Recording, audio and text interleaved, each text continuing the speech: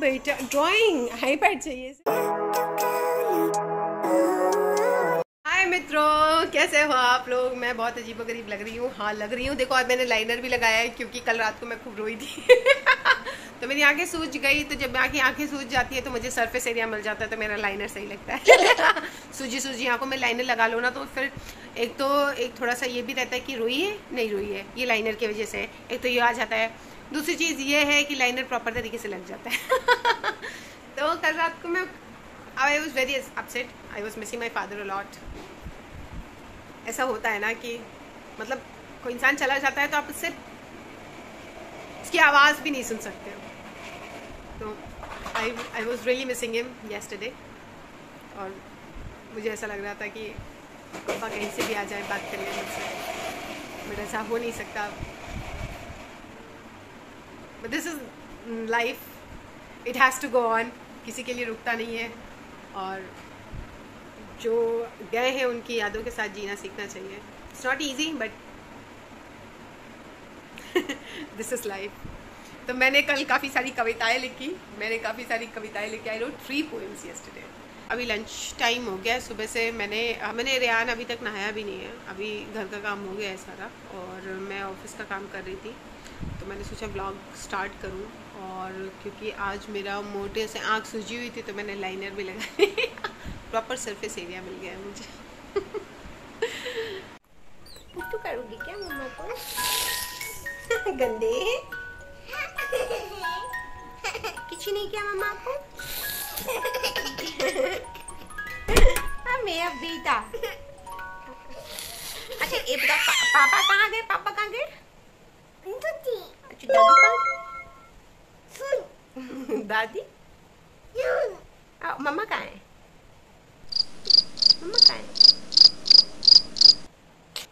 और यान कहाँ गया मेरा कहाँ पे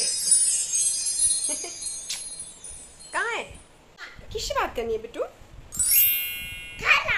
खाना चाहिए मैं पेंट हाउस जा रही हूँ थोड़ी देर के लिए मुझे कुछ काम है और बिल्कुल ऐसी सोनी सी लग रही हूँ आज। कुछ करने का दिल ही नहीं किया आज, बिल्कुल। तो आज मैं अभी पेंट हाउस जा रही हूँ I have a discussion and then also I have a meeting with another client today तो let's see things work out तो अभी मैं फटाफट वहीं पे जा रही हूँ, छः बज गए हैं, काफ़ी देर हो गई है। तो पहले तो ये निपटाएँगे। जल्दी मैं आज फिर से शूज़ पहनना भूल गई हूँ। आई जस्ट होप मेरी बैंड ना बजे। वरना उस बार तो मेरे पैर इतने दर्द करने लगे थे। आज क्योंकि मुझे साइड पे ज़्यादा देर रहना नहीं है, बस इलेक्ट्रिकल पॉइंट समझाना है इलेक्ट्रिशियन को। वो समझाना है एंड आफ्टर दैट मीटिंग है। तो मुझे इतनी देर खड़ा नहीं होना पड़ेगा, इतना भागना नहीं पड़ेगा। आई एम होपिंग कि दर्द ना हो। मैं पहुँच गई हूँ और मैं लिफ्ट का इंतज़ार कर रही हूँ एज यूजल और लिफ्ट आ गई फटाक से। अब मैं जा रही हूँ और जो डिस्कशन मुझे करना है, मैं वो करूँगी। सबसे पहले साइड पे इलेक्ट्रिशियन को समझाना है। देखते हैं कुछ, अगर वो वेट कर रहे हैं तो बिकॉज़ आई एम लेट तो मैं भी मेन कॉन्ट्रैक्टर को समझा के निकलूँगी।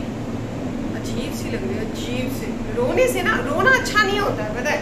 It's not at all good it makes you look bad it makes you feel bad don't cry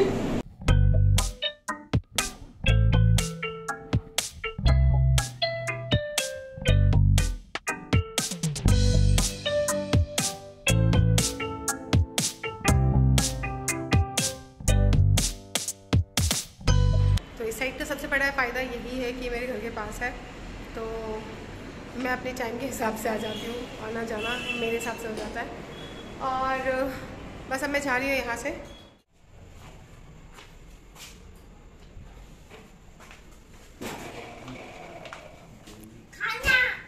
खाना। खाना। मिला बेटा खाना। पापा। के ला रहे छोटू को हाँ भिंडी का वाला मिला बेटा। अच्छा?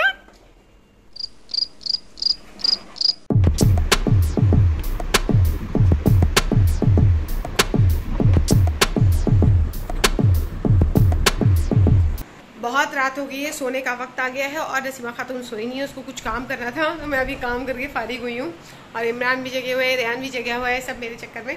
तो अब बस हमें सोंगी और वीडियो भी एडिट कर रहे हैं। मैंने एक्चुअली अपना आज का टाइम क्लोज कर लिया है so that tomorrow I can edit video और आई होप आप मेरा ब्लॉग्स देख रहे हो। मैंने रेगुलरली पोस्ट करना चालू किया है तो आप प्लीज़ उसको देखो सब्सक्राइब करो मेरे चैनल को। अगर पसंद आ रहा है तो और लाइक करना, और कमेंट सेक्शन में भी बताना कैसा लगा।